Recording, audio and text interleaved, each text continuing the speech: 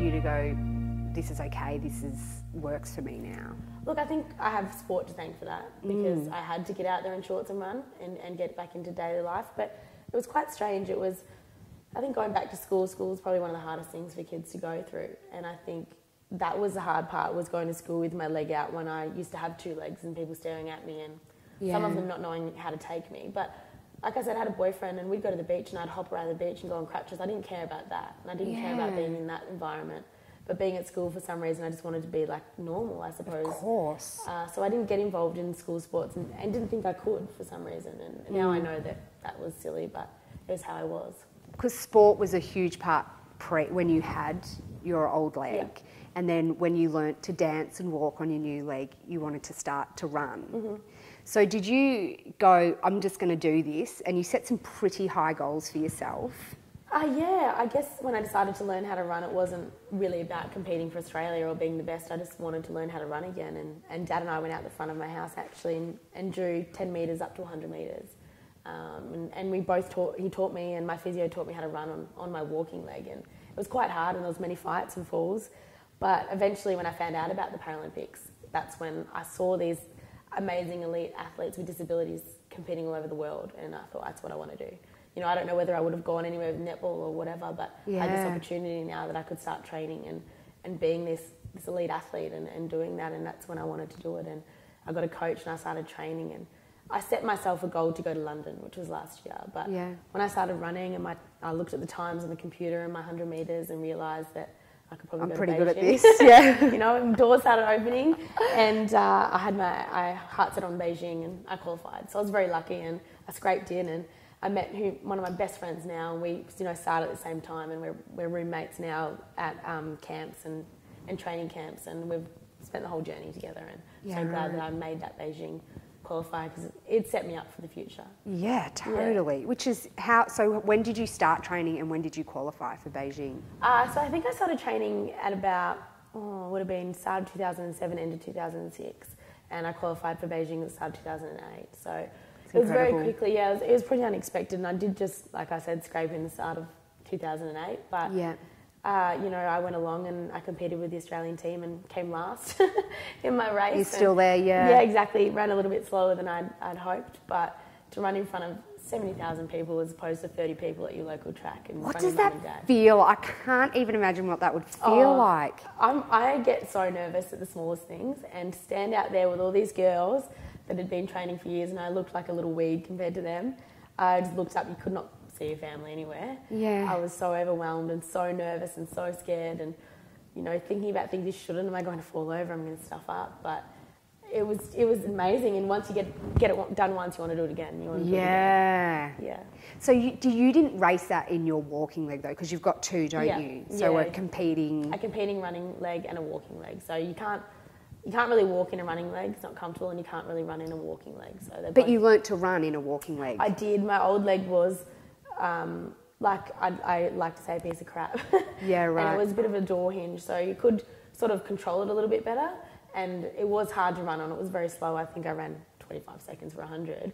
That's pretty but- good. I couldn't do that. oh, I hope I'm a lot faster than that now.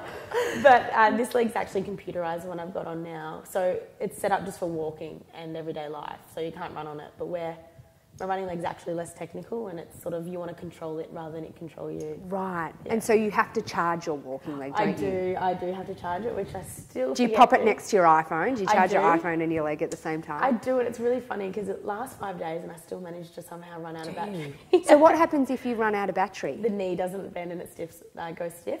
And will you still walk, or use it, or Yeah, I'll walk, but uh, it's happened to me many times at the shopping centre, and people don't want to walk next to me because I have to swing it all the way around. And uh, um, people are just like, oh my god, actually, it's really funny because was, I was at the opening ceremony in London, and I must have forgotten for the last five days to charge it, and I ran out of battery, and I was standing, you know, listening to the music, and all of a sudden I hear the beeping.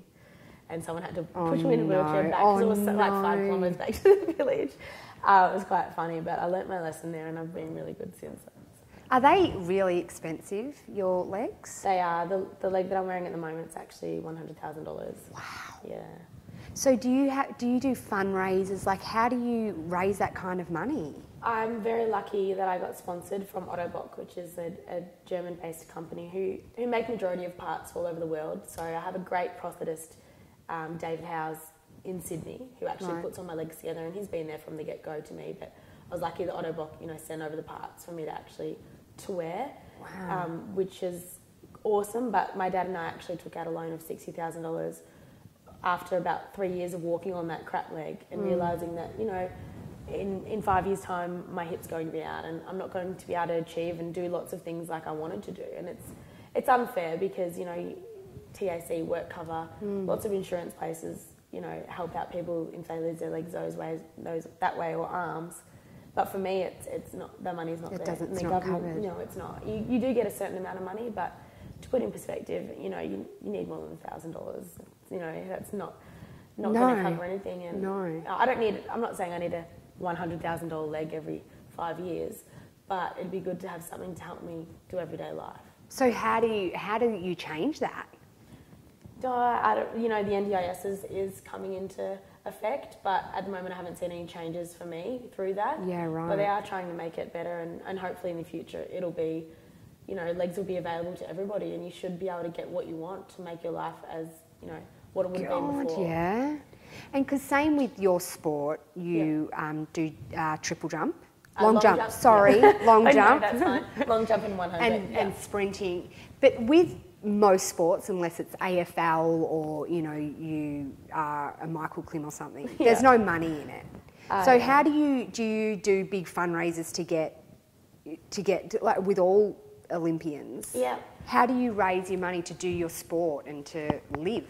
Yeah, I mean, I work. I did work leading up to London, but also the Paralympic Committee, you know, do a great job of fundraising to get us there, so that we don't have to pay to, to, to get to the Paralympics. Right, okay. They do their own fundraising themselves, and they're always, you know, ha- needing help with that as well because there's a big team to send over, and they're amazing. They have amazing sponsors.